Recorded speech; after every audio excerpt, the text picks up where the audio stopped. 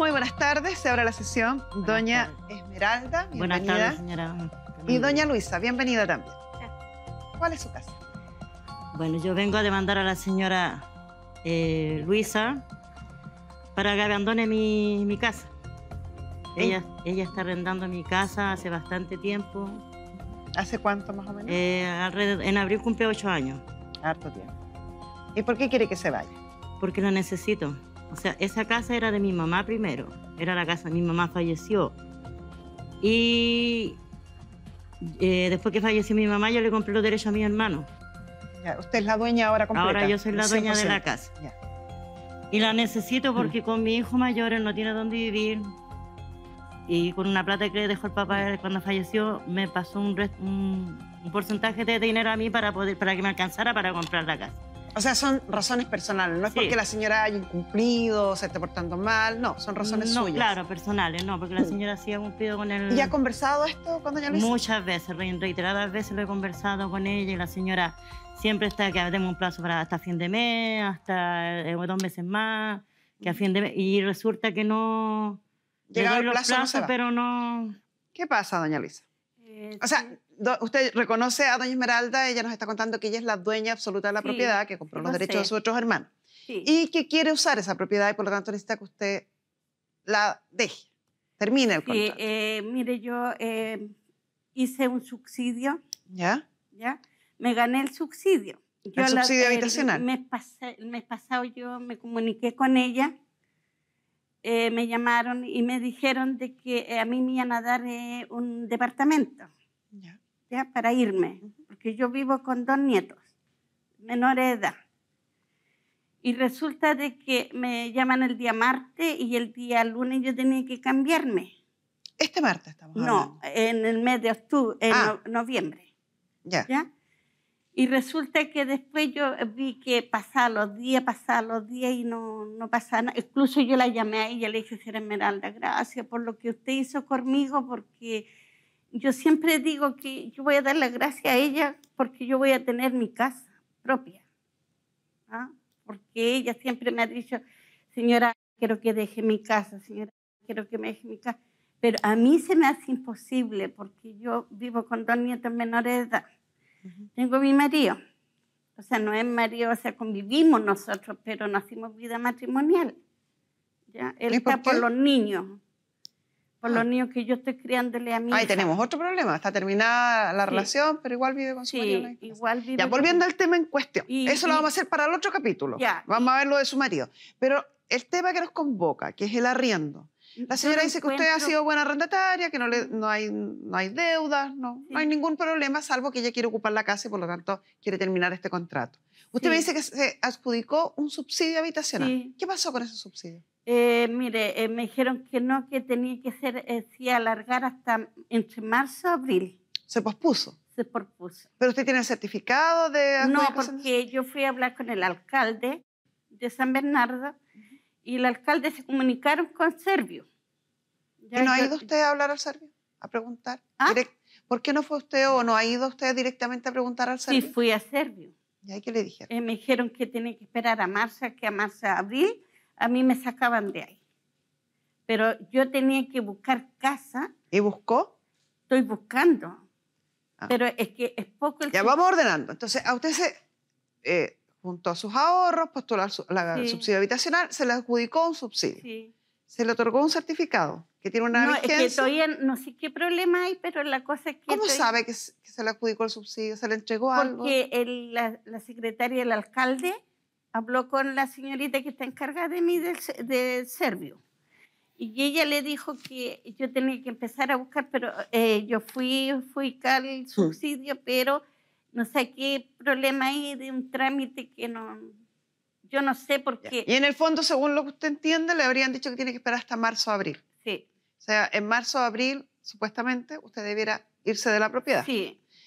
¿Se lo había comunicado a usted? Lo que pasa es que la señora en julio me dijo exactamente lo mismo, que ella tenía, eh, incluso fue lo que, más, lo que más tomé en cuenta fue en julio, porque en noviembre del año pasado, cuando yo todavía no era la dueña sola, eh, fui con mi hermano en noviembre del año 2020 y dijo exactamente lo mismo. Ah. que ella tenía el subsidio y que, y que o le sea, no es primera vez que usted escucha no que hay es primera subsidio vez, y que es no la es primera vez. Y Entonces, usted duda de la veracidad, me imagino, claro, de esa claro, porque si llevo más, ¿cuánto tiempo llevamos con eso? Entonces, yo necesito mi casa, yo la necesito ahora ya. Yo no puedo estarle dando el privilegio a la señora de que ella viva bien y que mi hijo ande dando botes para arriba y para abajo simplemente porque ella se victimiza de que los niños, que es su marido, que son convivientes. Si el hombre vive con ella, obviamente tiene que darle. Duerman juntos no duerman, eso no es problema mío. ¿no? Si vive con ella, tiene que darle. Tiene un hijo ahí también que la señora que, que que yo, yo creo que tiene que darle también porque no, no nadie tiene a, na- a nadie gratis. Muy hijo será, un mayor de edad, trabaja. O sea, usted ya no cree en No le creo nada, ya no creo a la señora. Lamentablemente parece que no es primera vez que lo dice, pues, doña, Jun- Señorita, doña eh, Luisa. Carmen Gloria, mire, eh, yo se lo dije a ella la otra vez, pero a mí se me hace difícil, porque Pero, hay ver, arriendo, pero, espere, escuchen, espere, espere, hay espere. arriendo, Pero espere, partamos. Vamos ordenando. Doña Esmeralda dice que ella ha sido sumamente tolerante y paciente, pero que esta explicación que usted le da ahora, ella la ha escuchado varias veces anterior. Sea, que usted le habría Una dicho lo vez, mismo en una vez. julio, le habría dicho lo mismo en octubre, la- no, no, una vez yo le dije en, en octubre, y en julio lo que dice ella, ¿qué pasó ahí? no, yo no le he dicho nada. a que, es que No, obviamente que, de la- eh, eh, obviamente que desde el año 2020, de noviembre de 2020, fuimos, fuimos todas las hermanas, desde ahí mostró papel a mis hermanas y todo. En noviembre de 2020 ustedes le pidieron la casa por primera Claro. vez. Oh, ah, antes la habíamos pedido, pero no era tan... Ya, pero supongamos que del Ya, noviembre de del noviembre de- 2020 sí. al 2021 ha pasado Sí. un año que le están pidiendo la casa, pues señora. Era Carmen Gloria. Usted no me va a entender que para mí es difícil. Es difícil. Porque yo he buscado arriendo. Los arriendos ahora están arriba de 400, 300. Ah, yo estoy con dos niños de menores de uno de 8 y uno de 13. A mí los papás no me ayudan. Yo trabajo en la feria. ¿Ah? Yo me voy a las 6 de la mañana y llego a las 5 de la tarde a ver a mis niños en la casa. Mire, eh, eh, Ah, doña, pero yo doña no Luisa, tengo no, la es, plata no es para que yo no le crea. eh, Entiendo, entiendo su situación. Mire, conversemos, conversemos. Pero también tengo que ser ecuánime, y eso quiere decir ponerme en igualdad de distancia de lo de que me dice ella lo que me dice usted. Y lo que ella me dice también tiene un peso. Porque si usted viniera hablar con doña Esmeralda por primera vez y le dice, esta es mi situación, yo abogaría porque doña Esmeralda entendiera su situación. Pero o sea, a ese antecedente debo necesariamente sumarle que doña Esmeralda no es primera vez que escucha una explicación como esta, sino que durante un año ha escuchado varias veces dilaciones como esta. Eh, usted entenderá que la paciencia de doña Esmeralda no es la misma que si esta conversación lo hubieran tenido el día uno. Ya usted misma, con estas acciones, ha hecho que sea más difícil, Sí, siendo me- benevolente para doña Esmeralda, Ahora- creerle esta versión. Ahora imagínense ella, cada vez que me van a pedirme, me tratan súper mal. ¿Ah? Me tratan mal, que yo ar- su arriendo la casa, que yo arriendo pieza. Yo la mitad de la casa es mía. A mí la, el, ¿cuánto que se llama? La municipalidad me dio dos mediaguas de tres por seis cuando yo llegué a esa casa. Sí, pero ojo, usted es dueña de las mediaguas, no de la propiedad. Mm. Se lo transforma si- en dueña de la no, propiedad. si yo no me estoy adueñando. No, me acaba de decir la mitad de la casa es mía. No, Eh, no no es me suya. estoy adueñando. Yo le hice mucho arreglo en su casa. Yo le dije, señora Esmeralda, cuando yo, usted, yo le dije, señora Esmeralda, le vendo la casa para no llevarme la media agua, no sacarla de las piezas que yo tengo. Le dije, yo le pido hasta un millón cuatrocientos por todo. ¿Ah? Yo le cambié taza de baño, le cambié todo. ¿Y llegaron a acuerdo en eso? Ah, ¿Es así no. lo ella no Sí, quiso, ella me- ay, ella me dijo que Ella me habló. Lo que pasa es que yo no quise llegar a ese acuerdo con ella porque se supone que si la señora está arrendando hace casi ocho años y los primeros, los primeros tres años a la señora se le cobró 100 mil pesos para que ella con lo, con lo que debía, supongamos que le hubieran cobrado 200 mil pesos mensuales, simplemente se le cobró 100 mil para que ella arreglara la casa con lo que Mentira. no le saliera caro. ¿Y ese acuerdo está escrito en alguna parte? No, no, porque eso no fui yo la que eso lo hizo mi mamá, pero de mi mamá y, y mi hermana, pero de boca. Pero a ella se le estuvo cobrando ¿En casi- ese minuto su madre era la dueña de la propiedad? Claro. Ya, o sea, no tenemos, no sacamos nada con Ya. discutir respecto a eso porque no está Pero lo, lo que pasa es que eso fue así. La señora le consta que ella tuvo como tres años, un poquito más de tres años, pagando 100 mil pesos. Después de esos tres años, yo fui y fui a hablar, fui con mi mamá y fui con, eh, a hablar con ella y le subimos a 150 mil. Y de ahí ha estado pagando 150 mil ¿Desde pesos. cuándo que usted se hace dueña 100% de la propiedad? Desde julio. Ya, Desde- Desde julio en adelante, Sí. el problema es suyo. Antes era problema de los otros Ya. propietarios. Por lo tanto, si hubo algún acuerdo de que pague la mitad, de que la otra mitad se iba a invertir, nada de eso Lo que- lo que a usted le compete. ya, lo que Ahora, pasa- lo que yo sí quiero saber, lo que sí me parece eh, oportuno y pertinente hablar dada la situación actual, es que la señora tiene instalado en ese terreno unas mediaguas que nos cuenta que en un principio pensó en vendérselas a Sí. usted. Si hoy no hay acuerdo respecto a la venta, ¿usted está consciente que ella se las puede llevar? ¿O llegar a un acuerdo respecto a que se la las señora llevara? me pidió un millón cuatrocientos, por Mm. eso yo le daba la explicación de- desde antes de lo que se le cobraba antes. Pero ella me, me vende las mediaguas, si ella se va, va a sacar el piso flotante, va a sacar la taza del baño, va a sacar las puertas, porque ella cambió todo eso. Y yo le digo, bueno, saque sus cosas, pero deje las que habían antes. Porque cuando llegó allá había taza de baño, había puerta, Sí, sí, había, había. lavamano, entonces si ella los cambió, ese es problema de Eh, ella, ella ojo nunca nos con eso, porque no es tan simple como usted cree. Yo lo No es llegar y tengo- sacar. La, la- en la ley de arrendamiento especifica esa situación. Yo Y él al respecto, es bueno que lo entienda, señora, y para que lo entienda es necesario que me escuche. Si yo arriendo una casa y sin permiso del dueño, pongo, por ejemplo, cerámica, cambio el techo, y resulta que cuando me piden la casa, empiezo a sacar la cerámica y empiezo a sacar el techo porque me lo voy a llevar, usted comete el delito de daños. Y es Señora de materia penal, es un delito. yo cuando... ¿Me escuchó? Sí. sí, ¿Qué le dije? De que si yo sacaba el techo era eh, vía penal. Sí. ¿Y, y- es conveniente que pase eso? No. ¿Se da cuenta que es un problema mayor? Sí. Ya, entonces no se le ocurra empezar a despegar azulejos, No, ni cerámica, ni sacar la taza Yo de... mala no soy. No, no lo estoy diciendo por maldad, estoy Mala no diciéndolo soy. por conocimiento del derecho. No se le ocurra empezar a sacar las tazas del baño, ni esas cosas, porque si no va a tener un problema mayor. Yo le voy a dejar la taza que ellos tenían, yo le voy a dejar tal cual, porque yo les tengo guardadas sus, sus cosas. ¿Ah? Está guardada su taza, está guardada incluso la Esas cocina. está- mediaguas se están sobre bases sólidas. ¿Se hizo una base de cemento? ¿Dónde No, se- nada. ¿No? No, en O sea, ¿se puede llevar entonces? Sí. Sin detrimento del terreno No, ni de la nada, construcción. porque ellos, cuando yo llegué a esa casa, yo le pedí a la hermana de ella, a la señora Marta, Ya. yo fui llorando Eh, a pedirle Más, que me más que, más que historia me interesan antecedentes. ¿ya? ¿Usted está de acuerdo eh, en eh, que la señora vaya a retirar las casas? ¿Llegaron a acuerdos sobre eso? Yo estoy de acuerdo con que la señora saque la media agua que ella tiene. Ya. Pero no estoy de acuerdo con que ella saque las cosas que están dentro de la casa. ¿Qué No estoy de acuerdo porque ella dice que ella dice que me va a sacar la taza del baño, que va a sacar no sé por piso. El piso, Y que no, sacar el la piso señora vivió- si está encima del de ella.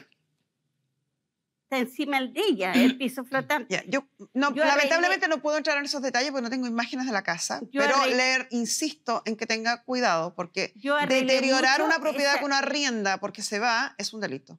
Yo arreglé mucho esa casa. Ella sabe las condiciones. Ella no era tres- la dueña de la propiedad. Cazaron tres toneladas de mugre, tres camionadas. Ah, mandó la municipalidad a hacer eh, la limpieza. Señora, eh, lo voy a decir, lo voy a decir más que por usted porque creo que usted me está escuchando bien poco, pero por la gente que está en su casa. Cuando uno arrienda una propiedad, uno tiene la obligación de ir a mirar en qué condiciones está. Y uno la arrienda en las condiciones en que está. Y cualquier acuerdo debe dejarse por escrito. Si yo digo, yo la arriendo en las condiciones que está, pero me descuentan porque hay que limpiar, porque hay que cambiar, porque hay que ordenar, porque hay que pintar, se deja por escrito. Si yo no dejé nada por escrito, me hice cargo de todo eso, es porque yo estoy asumiendo que es de mi cargo. Entonces no puedo después tratar de compensarlo, tratar de que me lo paguen. Más aún en este caso, donde la arrendadora no era la señora, era otra persona. Esta propiedad cambió de dueño. Hoy ella es la dueña y es la dueña desde julio en adelante. Entonces cualquier diferencia entre ustedes tiene que haber ocurrido desde julio en adelante, porque anterior a ese mes tendría que ir a reclamarle al anterior dueño, que por lo que entiendo está fallecido. Sí. Entonces no sacamos nada con tener, como se dice, discusiones bizantinas que no van a llegar a ninguna parte. A ninguna parte. Aquí lo importante es poder llegar a acuerdo entre las dos partes sin causarle un daño a ninguna de las dos, siendo empático con la parte que está al frente, Porque así como usted nos pide que entendamos o que la señora Esmeralda sea empática con su problema, usted también tiene que hacerlo con el de ella. Ella compró una propiedad con las expectativas de vivir ahí y eso es lo que espera. Y por eso la quiere recuperar. Pues si yo le dije a la señora Esmeralda, nosotros conversamos y no teníamos mala onda las dos. Ah, pero los días cuando Pero yo la lo que llamé, pasa es que te yo dice que la no tenía llamé, mala onda, pero estaba recién diciendo que yo la iba a amenazar y tanta cosa. Entonces, pero su hija no- cuando fue, señora, mi hija fue porque yo iba, íbamos al- los tres y me- yo iba con la presión alta, le pedí una banca que me pasara porque usted me- no me quiso abrir la puerta, obviamente no la obligué. Una banca para sentarme y mi hija obviamente le dio No, rabia y le dijo, vieja, vieja aprovechadora, le dijo. Mentira. ¿Y qué es lo que hice yo? La pesqué inmediatamente. Allá mi sobrino lo subí al auto, vamos. Señora, otro día ¿Qué conversamos es lo las que dos me solas. dijo su sobrino? Me dijo, ande la pille, le voy a echar el auto encima, la voy a matar, vieja. ¿Por cuál? Eh, yo lo Ah, subí inmediatamente ella arriba me del trata- auto y me lo llevé y yo le dije a la señora, le doy un mes más y después del mes conversamos así rapidito, le dije para irme, para que no. Porque ella, ella- imagínese, ella me... me- ¿Y desde cuándo que está con este problema usted, doña Luisa? Eh, estoy del mes, cuando falleció la mamá empecé con problemas después. Antes igual, le habíamos dicho con mi mamá no, que se pero fuera, no, pero no. la señora Marta, la otra hermana de ella, pero usted me era- habló que tenía un subsidio de vivienda, Sí, que es, ¿cierto?, una ayuda que otorga el Estado para que usted pueda comprar un, Sí. un lugar. Eh, nos, nos relató incluso que había intentado comprar un departamento, que finalmente se había fracasado esa acción Sí. y que eh, ahora en marzo retomaba, ¿cierto? sí. ¿Por qué no ha arrendado en otra parte? Si tiene tantos Lo problemas mismo con que la le decía señora. a Carmen Gloria, yo no tengo los medios como para pagar 400, La 500 producción- mil pesos, 300. Usted paga hoy 200, ¿cierto? 250. 250. La producción de Ah. nuestro programa se comunicó con la Municipalidad de San Bernardo, con la trabajadora social, que es quien está ayudándola a usted con los asuntos del servicio. ¿Ya? Y ella nos indicó que además usted tiene un subsidio de arriendo. A mí no me han dado subsidio arriendo. Yo llamé incluso a don Roberto, que está encargado de mí. Doña Luisa, venga.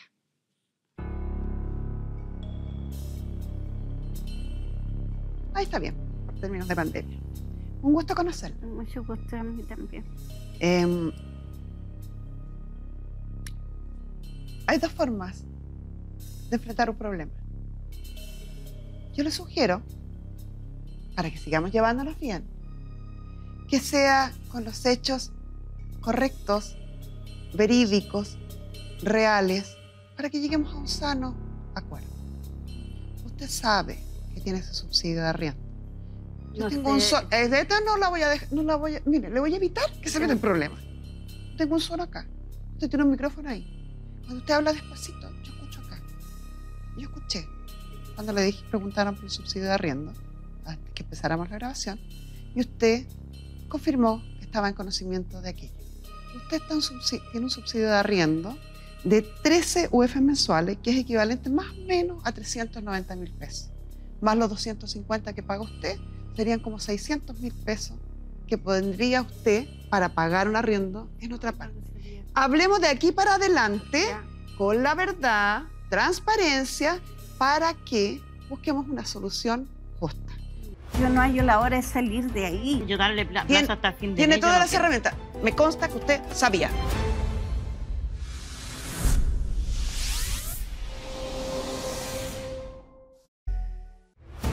Me va a sacar la taza del baño, que va a sacar, no sé, por piso, Me tratan súper mal. porque ella se victimiza. de- ¿Me escuchó? Sí, ¿Qué le dije? pero a mí se me hace imposible. Vieja aprovechadora, dijo. Entonces no sacamos nada con tener, como se dice, discusiones bizantinas que no van a llegar a ninguna parte.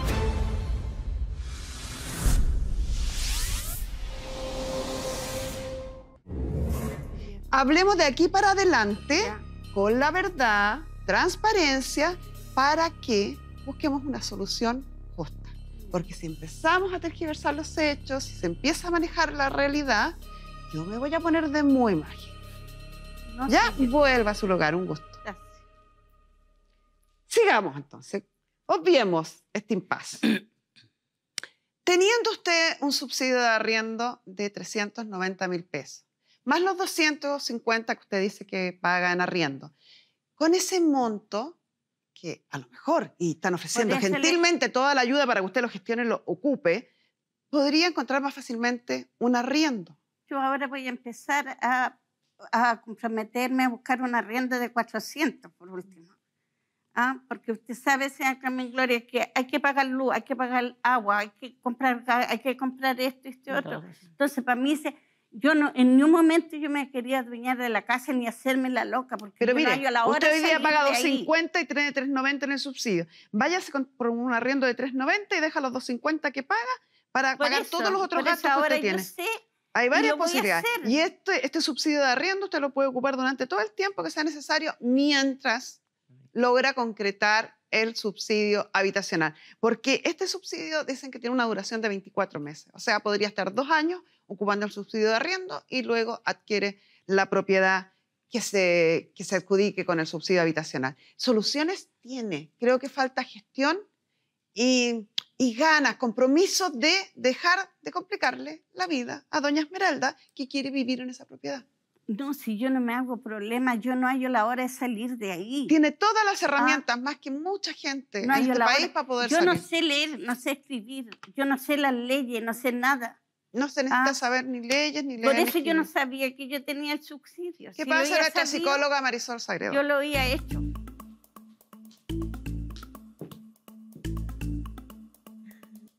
Bienvenida, mi querida Marisol. Doña yo le voy a pedir que ponga mucha atención a Marisol. porque creo que nunca es tarde para que uno cambie la tecla en la vida. Problemas nos afectan a todos.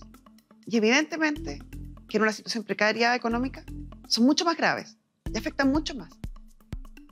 Y mucha gente está con problemas tanto o mayores que el suyo, sin ninguna opción. En nuestras eh, gestiones para poder solucionar el conflicto, vimos que usted tiene varias soluciones, pero no ha tomado ninguna. Mucho más soluciones de las que tienen la mayoría de los chilenos. Tiene adjudicado un subsidio de arriendo que está ahí en stand-by esperándola, usted no lo ha tomado. Tiene adjudicado un subsidio de la vivienda que está ahí en stand-by, usted no lo ha tomado. Y tiene un problema con Doña Esmeralda que tiene una solución súper fácil. Tome estas cosas, estos beneficios del Estado, que usted ya es titular de ellos, y ejérzalos. No lo ha hecho. Y sigue quejándose por la realidad que le afecta, que sí, es grave, es lamentable, pero tiene una tremenda puerta abierta que no está ocupando. ¿Por qué, Maris? Esto no es raro, Carmen Gloria. Suele pasar que las personas que lo pasan mal en su historia, en, su infancia, su, su adolescencia sus primeras etapas de adultez, tengan muchos problemas y no tengan las herramientas para salir adelante. Y sienten que el problema las pasa a llevar y no pueden salir y no pueden salir, por tanto no tienen las herramientas para superar todos los obstáculos. Eso se conoce como indefensión aprendida. Ella aprendió que no puede salir adelante sola. Por lo tanto, la gente la tiene que ayudar y tiene que hacer cosas para poder salir adelante y de esta manera se enfoca en lo que no funciona en su vida y no en lo que funciona. Y esto, desgraciadamente, Luisa, es algo que tú tienes ya súper concreto en tu discurso. Cuando nosotros conversamos, el primer rato que me hablaste, me hablaste de todos, todos, todos tus problemas sin llegar al hecho de por qué estábamos aquí. Porque eso es lo que tú tienes presente en tu vida, es todo lo malo que te ha pasado y lo difícil que ha sido para ti salir adelante. Pero esto se conoce como indefensión aprendida y es parte de muchas personas que se quedan esperando que o el Estado o que el resto haga algo por ayudarlos a salir adelante. Sí, eh, cuesta un poquito y, y como que uno se, se desespera un poquito a veces cuando ve estas situaciones, porque yo tengo una frase que a mí me encanta y que la repito mucho, y aunque sea majadero decirlo, lo voy a volver a decir. Uno no tiene opciones de elegir la vida que le toca, ni la familia, ni los medios con los que nace. Pero uno todos los días elige qué hacer con eso. Y esa frase a lo que va es exactamente lo que está explicando Marisol. Yo puedo tener muy poquito, pero ponerle esfuerzo y dedicación y salir a buscar y lograr lo máximo que se pueda con ese poquito. O puedo tener mucho y no hacer nada y dejarlo ahí y no usarlo. Entonces, sí, una forma es, o una excusa es, no tener a lo mejor el conocimiento. Nosotros otorgamos ese- esa información, pero también ustedes la podrían buscar. Y a veces hay que aprender a buscar, hay que aprender a salir a buscar. Nada va a llegar caído del cielo. A usted le han llegado dos cosas casi caídas del cielo. Y aún así, no las ocupa. Me dice, ¿por qué no sabe? Pregunte, pues, señora. Vaya a preguntar. Yo creo que uno siempre puede cambiarle el destino a la vida. Con mayor o menor sacrificio. Pero que se puede, No, se sí, puede. yo- yo y si no, hay que morir en el intento. Marisol, ¿algo más que agregar? Solo decirle que de la indefensión aprendida se puede salir, pero existen tres pasos básicos. Uno es hacer, dejar de esperar al resto, sino qué voy a hacer hoy día para poder tener mi casa, mi departamento, salir de donde estoy. En segundo lugar, hacer cosas nuevas, no solo siempre hacer lo mismo, porque si no nos metemos en un círculo vicioso. Y en tercer lugar, es confiar en los demás y pedir ayuda si es que no se sabe, pero la ayuda no es que te hagan las cosas, sino es que te orienten a cómo tú puedes solucionar las cosas. Muchas gracias, Marisol. Ojalá nos quedemos con ese mensaje, porque yo creo que en estos tiempos, sobre todo, es mucho más importante estar consciente de eso. No quedarse en la inercia, salir a buscar lo que uno necesita, ayuda, consejo, orientación y hacer las cosas. 100%. Muchas gracias, Marisol. Estimadas, doña Luisa, usted elige o se queda con las excusas o toma las riendas de su vida. Nosotros, la producción de nuestro programa, habló con doña Rebeca Arce, encargada del Departamento Social de la Municipalidad de San Bernardo. Ella está al tanto en detalle de su caso, la conoce perfectamente, sabe perfecto cuáles son sus requerimientos y sabe que usted tiene un subsidio de arriendo por tres UEFs que puede ejercer cuando usted quiera. Y puede ir a hablar con ella de parte nuestra, que mostró toda su disposición, para que la guíe, no para que le haga, para que la guíe, es usted la que tiene que hacer en los trámites para poder usar este subsidio. Desde otra perspectiva, fuimos también a conversar con el Servio Metropolitano, quien también dijo que la recibiría, que la va a recibir, para activar su subsidio habitacional que usted no ha, no ha usado. Y le van a mostrar las diferentes opciones que existen para que usted elija cuál es la que le conviene. Así que, doña Esmeralda, nosotros vamos a seguir al tanto de este caso, muy encima de él para que se resuelva a la brevedad posible. Yo, Quiero, quiero que entienda que Ujú. nosotros podamos hacer lo que hemos dicho acá, orientarla. La municipalidad puede orientarla, el, el serbio puede orientarla, pero finalmente quien tiene que apretar la tecla para que esto funcione es ella. Hoy tiene todas las herramientas Sí, para sola- solucionar este problema y cambiarse y tener su casa propia además. Porque No, yo, Tiene quiero todas hasta las fin de herramientas. mes, yo darle plazo hasta fin de Tiene mes. todas no las quiero. herramientas. No creo que a fin de mes pueda irse, o sea, de- del subsidio, pero sí, del subsidio habitacional, pero sí puede arrendar en Sí, otra parte. sí. Vamos a poner en conocimiento, vamos a hacer las, las eh, interrelaciones personales que corresponda para que ella tenga, pero nosotros no podemos tomar la decisión por ella, e- ni la municipalidad ni el serbio. Ella la tiene que tomar. Entonces, retomo, es usted la que está decidiendo su vida. Si no hace nada, va a seguir en este problema y la señora le vamos a sugerir que interponga una acción de precario para que un tribunal ordene su desalojo. No queremos que eso pase. Es injustificable en el caso suyo teniendo estos dos subsidios que puede usar y que no está usando. Presidenta, yo no sabía. Señora, Entienda, Última no- vez, entiéndame usted. Sí, sabía y yo me consta que usted sabía. Así que no me tergiverse más la realidad. Vaya a la municipalidad, a hablar con esta señora, al serbio, a hablar con el otro señor, solucione este problema. Y si no, la señora le va a dar la orientación para que demande de juicio precario y la desaloje del tribunal. Y a lo mejor así, de repente, de día a la mañana, usted entienda lo que tiene que hacer. Y con esto cerramos la sesión.